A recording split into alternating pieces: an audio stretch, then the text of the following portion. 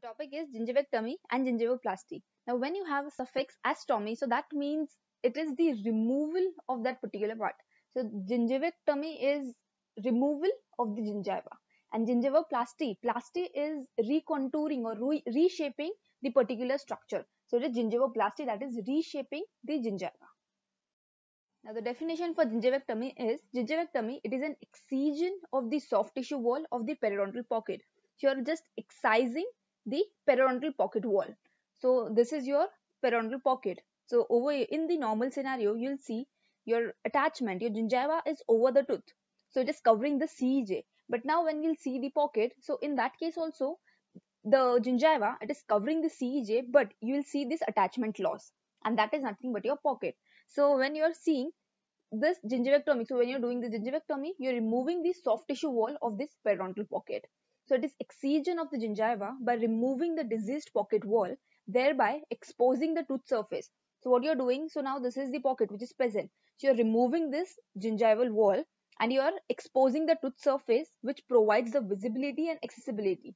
Now if you have this calculus which is present beneath this gingiva, so you cannot see this properly. So because of that, for that the visibility and the accessibility is attained by this gingivectomy that are essential for the complete removal of the irritating surface deposit and thorough smoothing of the roots. So now when you're removing this gingiva and after that you can see this area properly. So you can see this tooth surface properly and this helps in removing this calculus or plaque which is present and you're like thorough you're smoothing the roots thoroughly. So this is nothing but the gingivectomy where you're excising the gingiva. So this is how it looks. So this is the pocket which is present. So you're excising this gingiva and after this you, you can see like after the incision it looks like this. You have completely excised this portion and after healing it gets this attachment retained. This is the normal scenario. It is used gingivectomy is used in gingival enlargement. So gingival enlargement is nothing but the pseudo pocket in which the gingiva it is above the tooth surface and in this there is this supra bony pocket and there is this infra bony pocket. But now in gingivectomy you cannot so gingivectomy is usually is not done. It is contraindicated when you have infra bony pockets because now in infra bony pockets you can see the pockets they are at very depth. And if you're removing such huge wall of gingiva which is not applicable so in that case you are not doing gingivectomy in cases of infra bony pockets in that you are doing the flap surgeries only now, what are the rationale and the prerequisites of the gingivectomy? So, the rationale is to improve the visibility and the accessibility for the complete calculus removal and thorough smoothing of the root. This is the rationale why you are doing this gingivectomy so that you can get that visibility and accessibility to remove the calculus from the roots. To create a favorable environment for gingival healing. So, this is the normal contour of the gingiva. So, you're creating that favorable environment for gingival healing through the gingivectomy then to restore the physiological gingival contour. So this is a gingival contour but now this has like because of pockets it has got hampered. So to restore that physiological gingival contour you're doing gingivectomy now what are the prerequisites? So there should be no infrabony pockets or infrabony defects. Now as i said infrabony pockets it is contraindicated. If there are infrabony pockets which are present so it is contraindicated. Gingivectomy is contraindicated in such case. There should be adequate zone of attached gingiva. Now this is your attached gingiva so it should be adequate. It should not be like your attached gingiva is inadequate. So this is a prerequisite before doing the gingivectomy. Then the underlying bone, it must be normal or nearly normal. And if there is bone loss, it should be horizontal in nature. If you see there is vertical or angular bone loss, so it means there is infra bony pocket. So in that case, you cannot do gingivectomy. So if there is bone loss, so bone loss, ideally it should not having the bone loss and if there is bone loss then it should be horizontal in nature. What are the indications? So if all the prerequisites are met it may be used to do the following. So we have seen all the prerequisites. So if all the prerequisites are met then you can do gingivectomy in all these conditions. For the pocket elimination to eliminate the supra bony pockets and the pseudo pocket. Pseudo pocket is nothing but when you have gingival enlargement. So you are doing gingivectomy in supra bony pocket and pseudo pockets. Then for the gingival correction it can be to correct the gingival craters in ANUG or in flap procedures. To correct the gingival craters, you can do gingivectomy. Then to remove the fibrous or edematous enlargements. So if there are enlargements which are present, you can do the gingivectomies. Then to transform the rolled or blunted marginal to a physiologic form. Now if your gingival margin, they are blunted or they are rolled. So to correct them, to get them in the physiologic form, you're doing gingivectomy. Then to create a bilateral symmetry where gingival margin of the one incisor, it has receded somewhat more than the adjacent incisor. So in that case, you can do gingivectomy. Now in the case of crown lengthening to create a more aesthetic form. So this is a case when the crown length is less. So to like enlarge or to lengthen this crown, you're doing gingivectomy. So now you can see this was the gingiva which was present onto the crown. So you're removing this gingival part and then you can see this is the crown lengthening procedure. And then in the case of suprabony abscesses, you can do gingivectomy.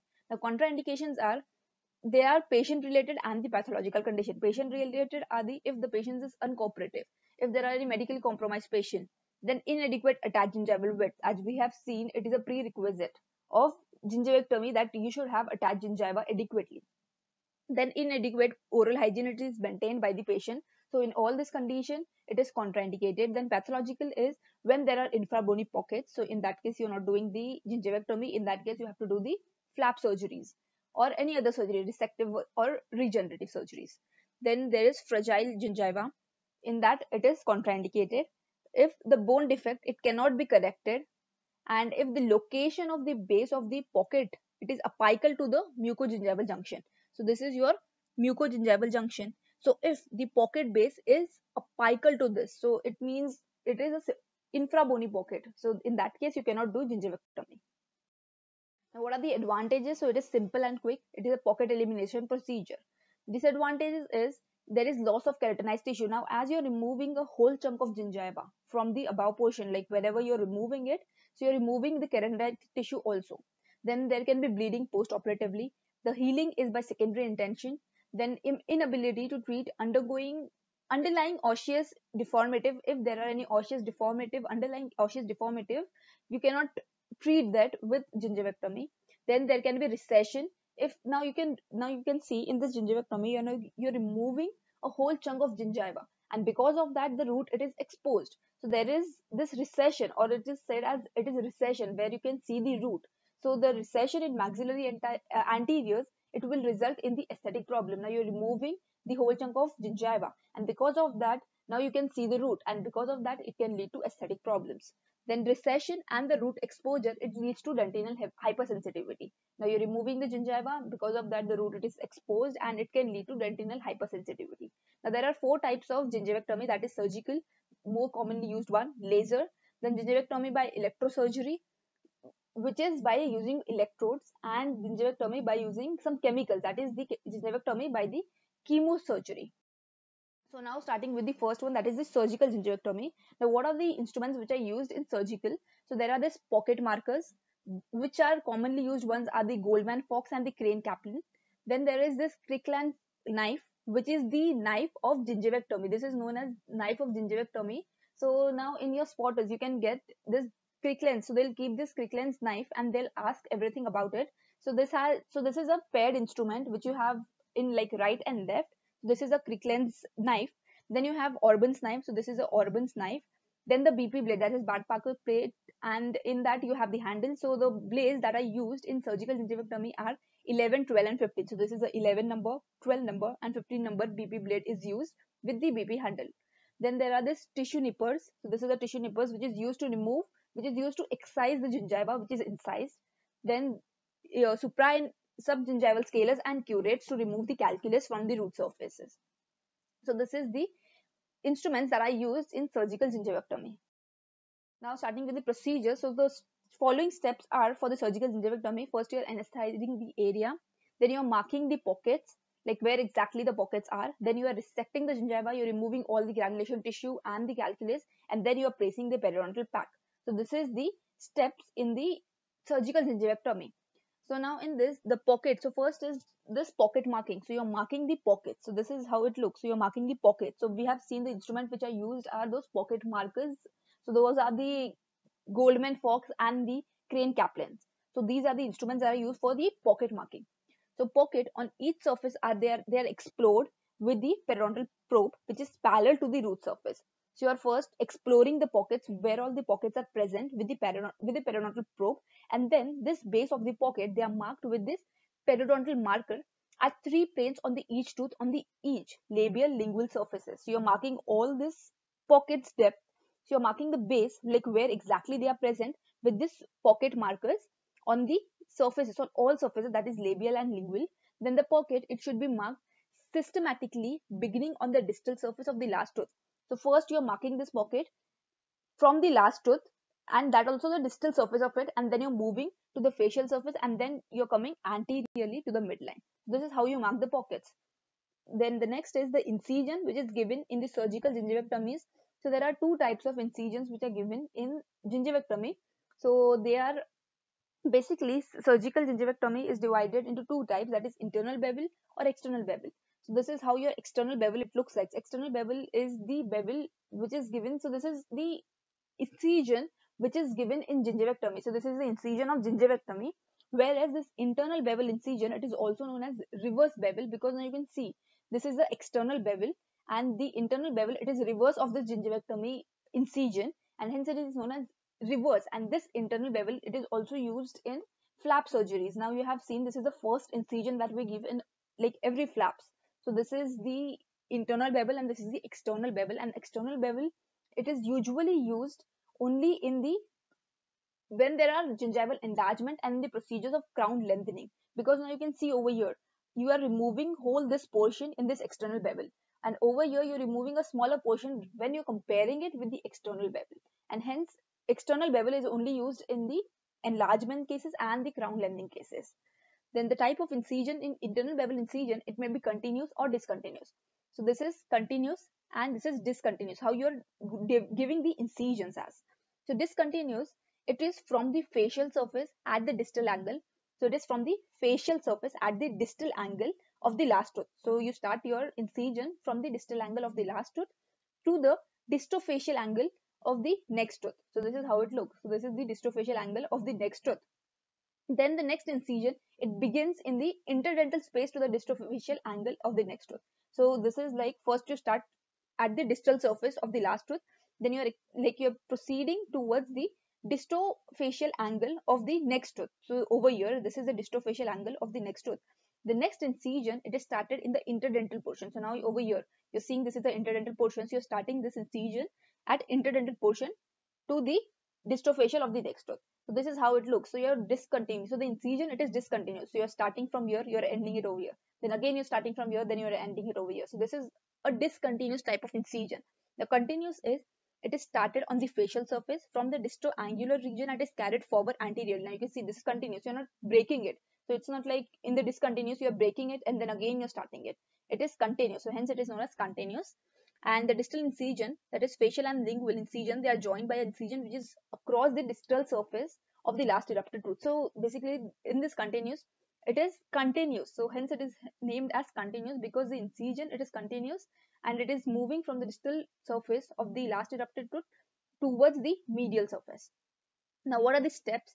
So first the steps are start apical to the points which are marked of the course of the periodontal pocket and is directed coronally to a point between the base of the pocket and the crest of the bone. So this is first point that you have marked your pockets. So now you have marked your pockets and then you start making an incision which is apical to these pockets. Then the next is the incision, it should be beveled at approximately 45 degrees to the tooth surface. So when you're making an incision, so it should be at 45 degree to the tooth surface to follow the normal festoned pattern. That is the normal your gingival contour. So to, to follow that, you're maintaining that 45 degree tilt. Then uh, it should not leave the diseased pocket wall. The incision, it should pass completely through the soft tissue to the tooth then first you're using this Kirkland's knife. Now, as I said, this Kirkland's knife is a gingivectomy knife. So you're using a Kirkland's knife to make the first incision. So to make this first incision, you're using a Kirkland's knife. So you have to remember this very well because this is very commonly asked MCQ, which is the knife of gingivectomy and which knife you're using to make the first incision. So that is your Kirkland's knife. Then the Orban's knife, it is used to remove the interproximal gingiva to free the tissue interproximally you're using this Orban's knife. So this is the next point that you need to remember that Orban's knife, it is used as a supplemental. It is used for the supplemental interdental incisions. The, then this is the incision which is given. Then you're removing the resected gingiva and then you're smoothing whatever the region is. So you're removing all the granulation tissue, the you're doing the curettage, you're smoothing the roots and then you remove all this granulation tissue, you remove the calculus and after that what you're doing is you're washing the area several times with the saline and you're covering with the gauze sponge. And then lastly you're covering it with a periodontal pack now i'm going to explain like i'm going to show you the pictures for it clinical pictures of it so that you can understand it well. So first this is how it looks. So this is your so this is the pocket markers. So this is how it looks. So because of that when you're pressing it towards so now you can see this is a pointed so this pocket markers they are pointed. So when you're pressing it onto the gingiva there are these bleeding points and hence this is known as the pocket marking. You're marking the pockets. So this is the pocket marker. So first you're anesthetizing the area. So this is the local anesthesia. So after local anesthesia the selected area. So first you're giving the local anesthesia in the selected area. And after that the next point is now you're marking these pockets. So this is pockets they are explored. So first you're exploring the pockets with the periodontal probe like where all the pockets are present and then you're marking it with this periodontal pocket markers and on the facial and the lingual surface. So now you can see with this pointed mark. So now you have seen the base of the pocket it was present over here. So you're marking this point at this point with this pocket marker. So now you can see there are these dots, the bleeding points which are present. So these are the points of your pocket markers. The next is now first is you're using a Kirkland's incision. So first you give a Kirkland's incision. So the Kirkland's incision is the primary incision and you're giving it with the help of this Kirkland's knife. So this is the knife of your gingivectomy. So the periodontal knife that is they are used for the incision on the facial and the lingual surfaces and those distal to the terminal tooth in the arch.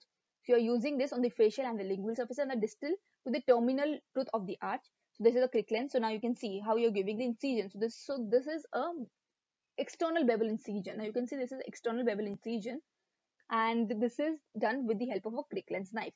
And we have seen it can be continuous or discontinuous. So over here, this is a continuous type of incision that we have given. And then you can use this Orban's knife. So this is a Orban's knife which is used for the supplemental interdental incision and we have seen there were this Bard Parker blades which were used like number 11 and 12 and there were scissors and they are used as a supplemental so they can be used like if it is very difficult to carry out so if the gingiva it is difficult to remove so in that you can use this Bard Parker blades then the incision it is started a apical to the point marking the course of the pockets so now you have marked this pocket. So now you have marked this pocket. So you are starting this incision a apical to them at the angulation of 45 degree. Then it should be as close as possible to the bone without exposing the crest of the alveolar bone. And this is how it looks. So it should be close to the bone, but it should not expose the crest of the alveolar bone. So you're making this incision apical to it at the 45 degree angulation. So you can see over here. So the angulation of your blade, it is at 45 degree to the tooth. then next is now you're using this Orban's knife to remove the interproximal gingiva, interdental gingiva. And this is your tissue nippers, which is used to remove. Now you can see you're excising this gingiva. So you're excising the gingiva. You have made this incision and they're excising the gingiva with this tissue nippers. These are the tissue nippers. And then you're removing all the granulation tissue. Now you can see over here, you're removing all this granulation tissue and you're smoothing your roots with the help of curettes and you're doing with all that scaling and everything and you're removing all the granulation tissue and you remove any rem remaining calculus and the necrotic cementum so as to leave a smooth and clean root surface. And this is how it looks after the surgery. And then you're giving the surgical pack. So the surgical site, it is cleaned with the normal saline and the bleeding, it is controlled. Then after the bleeding, after the bleeding, it is controlled. The surgical site, it is protected using a surgical pack or it is known as periodontal pack. Then care should be taken to see that the periodontal pack it does not extend too much coronally or apically. So this is how it should be like properly. And this is after six months. So this is post operatively after six months. So this is how it looks. So the gingiva it was enlarged. Now it now you can see. The gingiva it is normal in this case. So this is nothing but a surgical gingivectomy. So this is the same picture that you can draw in your exams. So first you are measuring the pockets with the help of periodontal pocket then you're marking it with the pocket markers then you're making an incision which is apical to it at 45 degree angulation with the Kirkland's knife. So this is how it looks like. This is a external bevel incision. Then you're using the Orban's knife to remove the interdental gingiva. Then you're removing the, you're excising the gingiva with the tissue nippers. Then you're cleaning the area. So this is the calculus. Now you can see this is present. Calculus is present onto the root surfaces, which was not exposed earlier. But now after removing the gingiva, now it is easily visible to us. And after that, you're removing all this and then you're giving this surgical pack. So this is the same picture. This is the external bevel incision. So now this is the gingiva, excised gingiva. So now you have removed all this excised gingiva and this is this is how it looks. This is after the surgery and after healing. Now, what is the healing after the gingivectomy? So initial response is there is the formation of the protective surface clot. Then the clot it is replaced by the granulation tissue. Then approximately after two hours there is the increase in the new connective tissue cells. Then around 12 to 24 hours. So after 12 to 24 hours, epithelial cells at the margin they start to migrate over the granulation tissue. Then 24 to 36 hours, the epithelial cells they are advanced by the tumbling action. With the cells they becoming fixed to the substrate. Then third day is numerous young fibroblasts. So this is how it heals. So how your gingiva it heals after doing the gingivectomy. So after fix, so you can see at the fifth week there is completion of the epithelial repair, and at the seventh week that is the 49th day there is completion of the connective tissue repair. So this is how it gets repaired. Now next is the laser gingivectomy the most commonly used lasers are carbon dioxide and Nd:YAG lasers. So they are used for excising the gingival overgrowth. So this is a laser. With the help of laser so with the help of this lasers light you are removing the gingiva so over here. So this is a laser light and you're removing this gingival uh, overgrowth. The advantages is it offers almost completely dry bloodless surgery. So you're not making an incision or anything. Because of that it is completely dry and bloodless surgery. Then because of dry field surgical time it may be reduced. Then there is an instant sterilization of the area. And because of that there is decreased chances of the bacteremia. Then there is a prompt healing with the minimal post-operative swelling and scarring. So now you have seen in surgical removal they heal by the secondary intention. But in this laser surgery post-operative swelling and scarring is less. Then post-operative pain it may appear to be greatly reduced. So pain it is reduced in this laser gingivectomy. Now the disadvantages is it is of a high cost. Now you're using this lasers so it is high cost. And then it is important that all operating room personnel they have to wear the glasses for the protection because this is a laser which is used. This is a disadvantage for the laser gingivectomy. So with the help of laser you're removing gingiva the next is the electrosurgical gingivectomy now this electrosurgical gingivectomy what you're doing is you're using the division. So basically electrosurgery it is a division of the tissue by high frequency electrical current which is applied locally with the help of this metal instrument. So you're using this like whole setup. So this is the electrosurgery where you have this metal instrument. So you're placing this metal instrument and over here high frequency electrical current it is generated from this machine.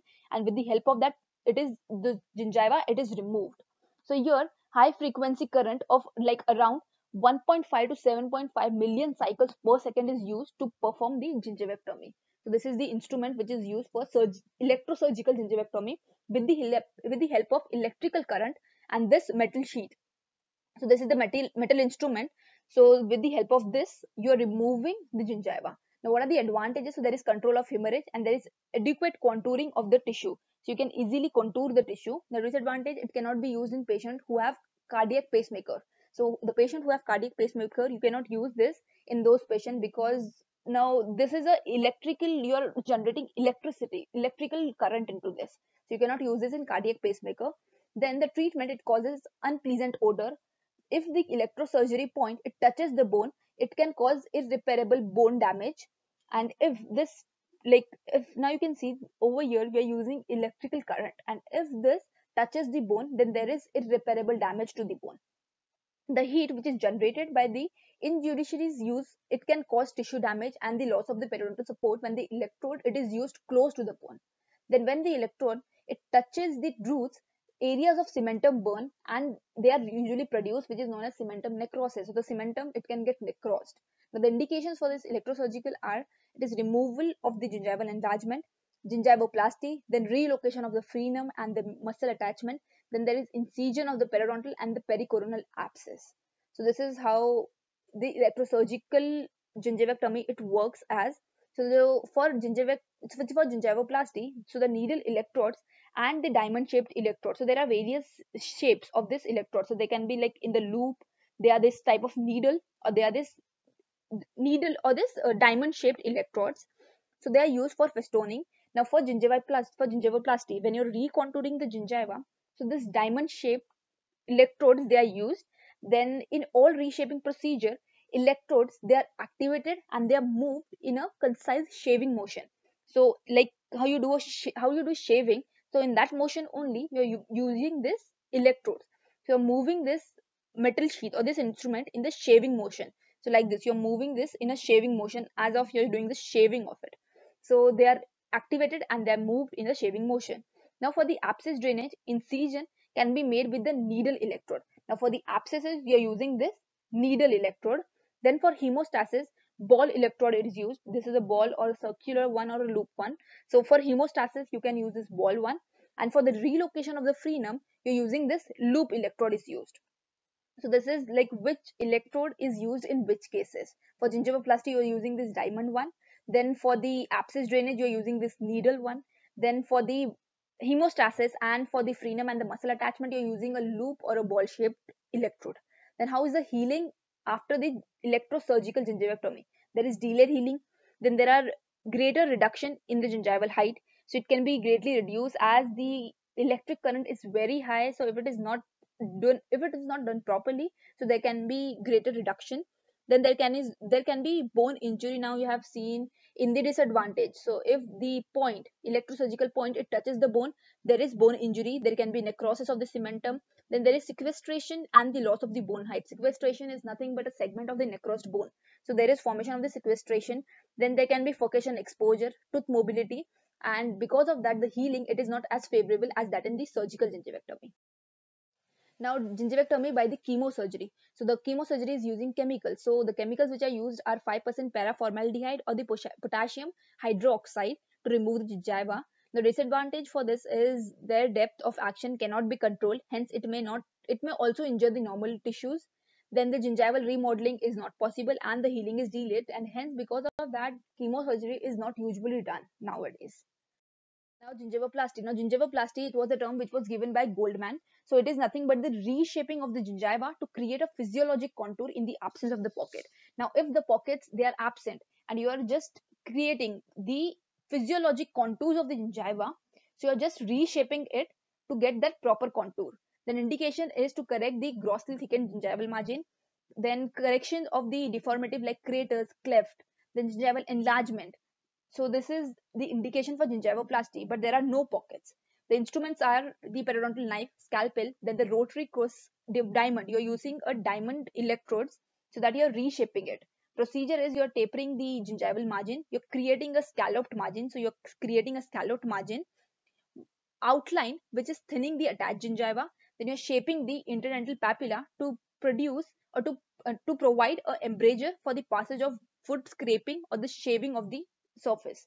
So what you're doing is you're just creating this scallop margin and then what you're doing then you're shaping the interdental papilla and after that you're just doing this scraping or the shaving of the surface with the help of this rotary coarse diamond electrode. So this is nothing but gingivoplasty. We are just you're just recontouring it or you're just reshaping the gingiva. And the last part is the difference between gingivectomy and gingivoplasty. So gingivectomy is the excision of the soft tissue wall of the periodontal pocket. So you're removing the gingiva. Excision of the gingiva is the gingivectomy. Gingivoplasty is nothing but the recontouring of gingiva to get that physiologic form of the gingiva. So the objective is to eliminate the pocket. Over here, gingivoplasty, the objective is to obtain a physiologic form. Though now you can see in gingivoplasty, there are no pockets which are present. And in gingivectomy, it is done only when the pockets are present it can be pseudo pockets or true pockets. So it can lead to the loss of attachment in the form of recession. Now you're removing the gingiva. Because of that, there is loss of attachment and it can lead to recession. And over here, you're just recontouring it and hence there is no loss of attachment. You're not removing the gingiva, you're just recontouring it. You're just repositioning the gingiva in a proper position to get that proper physiologic form of the gingiva. So this is nothing but gingivoplasty and this is gingivectomy where you're excising the gingiva. And this was all about gingivectomy and gingivoplasty. Thank you so much.